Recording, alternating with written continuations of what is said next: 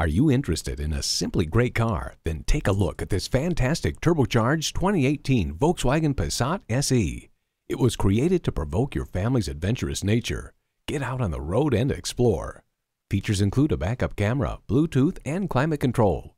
It also comes with heated seats, adaptive cruise control, keyless start, moonroof, smart device integration, multifunction steering wheel, wood grain interior trim, and more. Come check it out today.